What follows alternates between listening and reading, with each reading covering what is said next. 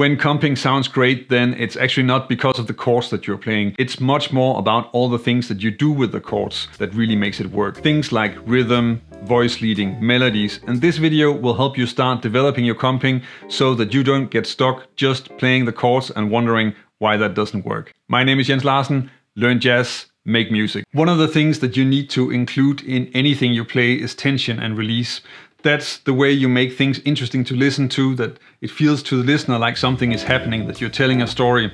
And in this case, that is something that you can add to your comping in a very easy way on the guitar. And it sounds both quite natural and pretty hip.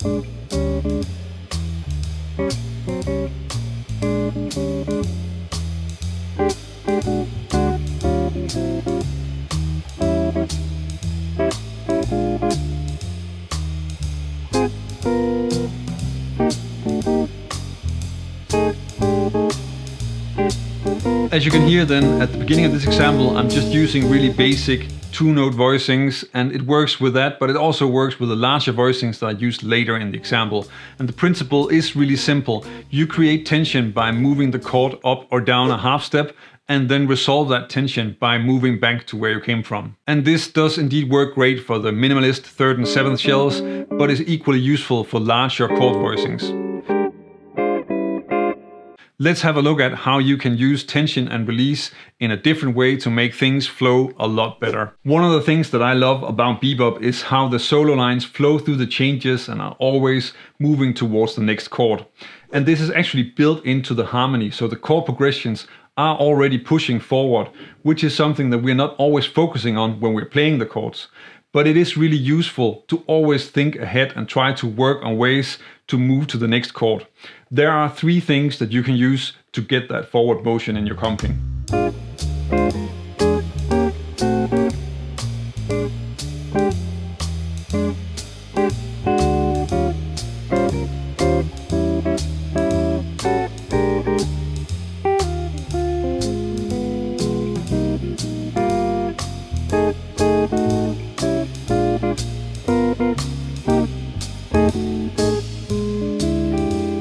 In the first bar, I'm using a melody that's ending clearly on the E flat 7, which is helping me transition from B flat to E flat.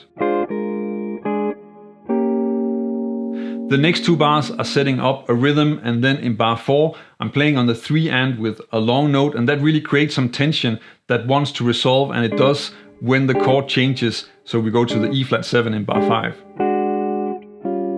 Bar 6 is first a bit of movement with the E diminished chord and then a chromatic passing chord that actually wants to resolve to the next chord and that's creating some tension that is then resolved once the chord actually changes. So the three things that I'm using to create forward motion here are melody, rhythm and chromatic passing chords. You can work on these three skills to develop your comping and give it more forward motion and make it more interesting to listen to. One of the things that I learned the most from in terms of comping was focusing on being together with the drummer. So really trying to play clear rhythmical ideas and react to what was happening, especially in the snare drum, so that you really become just like one instrument with the two of you that's playing behind the soloist. Now, of course, this doesn't really work with a backing track like I'm using here in this video, but I do think it is something that you want to pay attention to when you're playing in a band, and of course, if you're listening to people who are really good at comping. Jazz is about rhythm, and if you think about it, you probably already know that the rhythms that are important are the syncopated rhythms, the offbeats. One way of really using this in your comping is to work on playing anticipated chords, something often associated with Red Garland, the piano player of the first Miles Davis quintet, but also something that we actually all do. Practicing to use this in your comping is something that you can do by only focusing on playing anticipated chords, setting the metronome on 2 and 4 and play a vamp like this.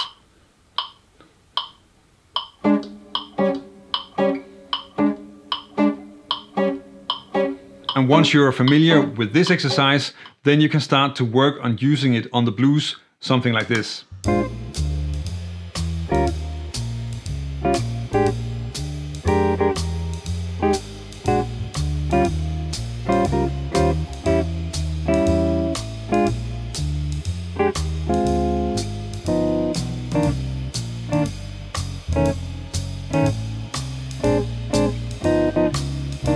Rhythm is probably the strongest ingredient in comping or in jazz in general.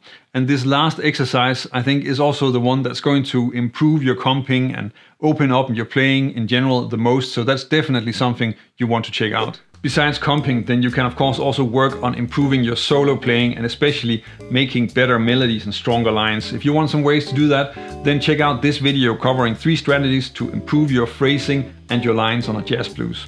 I sometimes hear that guitarists can't comp. Is that true? And who's your favorite comper and why?